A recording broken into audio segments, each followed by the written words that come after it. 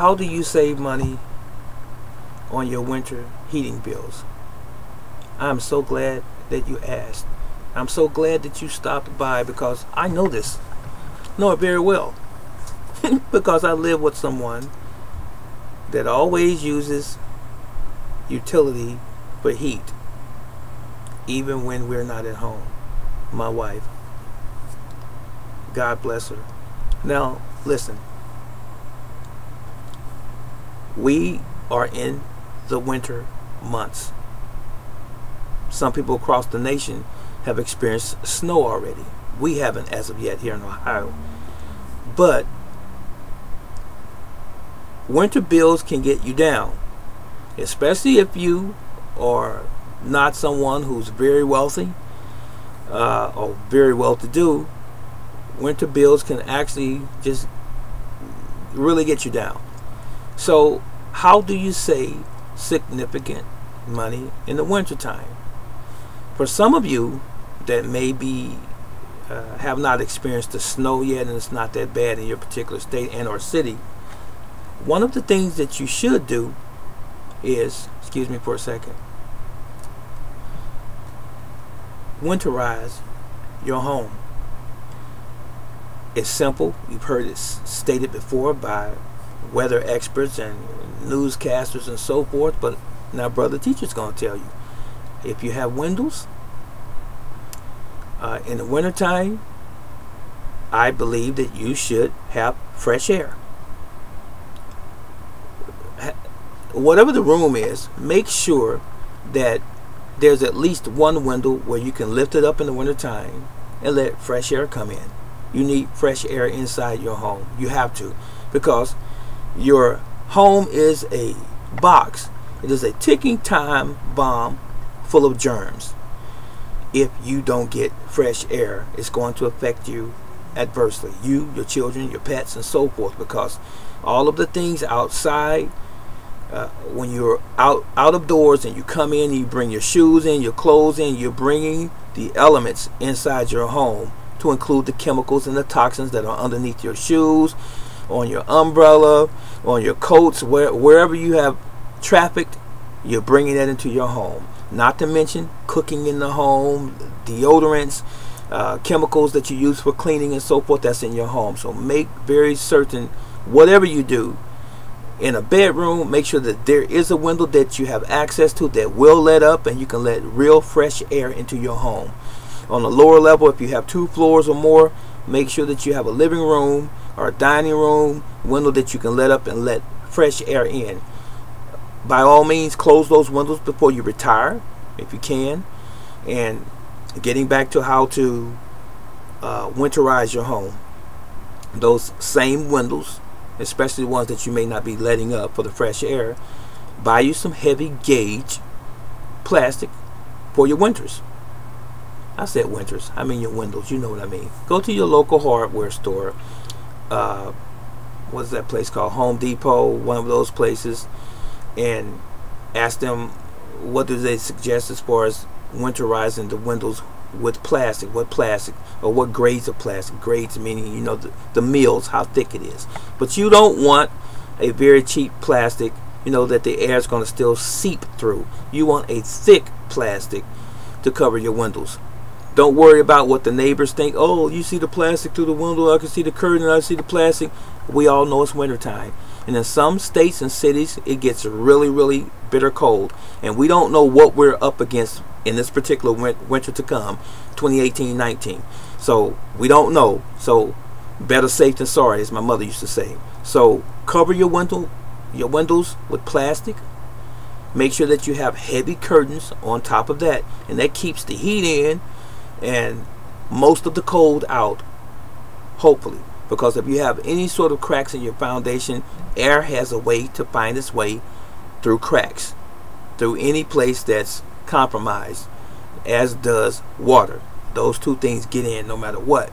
So you can minimize the amount of air that comes in. And another thing that you can do if, if you have cracks around your window, around the molding side or the wood part of the window or even the ledge, get you some caulk. C-H-A-U-L-K or C-H-A-L-K. Caulk. Some caulking Sometimes it's silicone, sometimes it's a white uh, type of uh, consistency caulk that's used for sealing holes, sealing cracks. That can also lessen the amount of air that gets inside of your windows.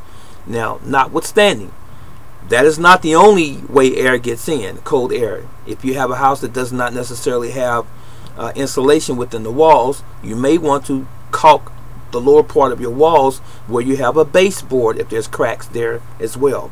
And don't forget your entry doors, front doors, side doors, back doors, and so forth, and even basement doors. Make sure that you get weather stripping. Just ask your local hardware person again for weather stripping. Tell them what kind of door you have. Do a little due diligence, a little research, and find out what it is that you need to stop air from coming inside your home. And the other thing, too, uh, you may want to invest in a good space heater. I'm not talking about a $10 space heater or a $15 space heater. So, follow me on this. When you're using a space heater, don't turn it on in a room that's not occupied or will not be occupied just for the sake of saying I have heat in such and such a room when I decide to go downstairs for a snack or to the kitchen for a snack. You know I feel heat when I walk through here. The most important place to be heated is the place where you're going to be at most of the time in your home.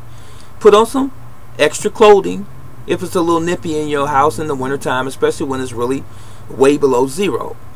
Freezing put on some extra clothes, get used to doing that. The winter will be over before you know it, and you will be a lot more relieved when you see your utility bills that they're not skyrocketed. And these utility companies love raising the prices during the wintertime. Doubled. I've seen it happen and I've experienced it. So, back on the space heater again. Don't put a space heater somewhere where you're not going to be at. Never, ever, ever, ever turn the space heater on and leave your home. These devices have burnt down many homes. You don't need to have a space heater on when you're not at the house. Turn your thermostat down when you leave. Only turn it up to about 70 65 for some people just depends on who you are. 65 70 75 if it's really really cold and leave it at that. Okay if you're turning up to 80 90 degrees which is about the max on some thermostats you're looking for a very very expensive utility bill. You are. And if you want to pay it more power to you. But if you want to save some money do what I suggested. Only turn your heat on and up when you're there when you leave, turn it down. Set your thermostat to where it turns itself on and off. Don't set your thermostat so high where it runs and runs and runs and runs because you have so many leaks of air in that particular room that it takes forever for the thermostat to kick off because it will never kick off to be honest because it's never going to reach the temperature that you have it set at. A lot of people don't know this. Listen if you have your thermostat set to 75 or 80 and the room is still 60 an hour later two hours later guess what? There's a major leak somewhere of air cold air coming into that room. And that thermostat is never going to turn off because that room is never going to get 70 75 or 80 so it's just going to run. And so is your utility bill. It's going to run up. All right? Remember that. If you have adjacent rooms and it's warmer in one room than it is another one and it's a doorway and there's no door there get you a heavy curtain and hang it at that doorway to keep the heat in one room and to keep the heat in the other room. That way you have a balance. So for example if you have a kitchen and you have good heat in that room and you have a middle room that doesn't have as much heat because you have large ceilings or whatever put a curtain on both sides and you contain the heat in all of those rooms independently. I hope it didn't lose you. Now the other thing too is make sure that you invest in some heavy blankets for your beds, children's beds and so forth. Get under the cover. You know, don't expect your uh, bedrooms to be a furnace.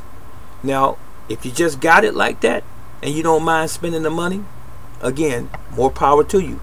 If you just want to give the utility company extra money. But keep your thermostats at a reasonable temperature. Seal up the holes with caulking, with insulation, if you have to, with weather stripping around the doors and windows if, if the windows can accept weather stripping. And you will save yourself a surprisingly a large amount of money during the winter. So I think that was all that claims my attention right now. If you have any further questions or any specific questions about how to weatherize your house, buyer beware. Don't forget this.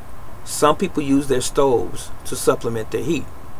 If your stove is gas, remember, if you're still using a gas stove, remember, gas is more expensive than electric. You're going to have a high gas bill. So, again, you might turn your stove on. I'm not advocating that you do, but if you turn it on, turn it on while you're in there, and make you make sure that you're in the room while the stove is on. Keep it on for a small amount of time, maybe 30 minutes, and turn the thing off. Don't sleep with the stove on. Okay, even if it's electric, don't sleep with the stove on because that's a major appliance. Your stove and your refrigerator pull more energy than anything in your home. So remember this, buyer beware. Buyer of what specifically? Utility services. Beware. These things are going to kill your pocketbook. All right? Your refrigerator stays on all the time, 24 7. Your stove doesn't, only when you cook. It is not designed to be your heating device. And if you're in a situation like this where you're using it as a heating device, you need to talk to your landowner, your property manager, or your landlord and say, hey, could you please fix the heat? Okay, and if he doesn't, she doesn't, your other recourse could be the Board of Health. All right, this is Brother Teacher. Be blessed, stay warm. It's winter time. Look forward to some more great videos. They're coming. So long.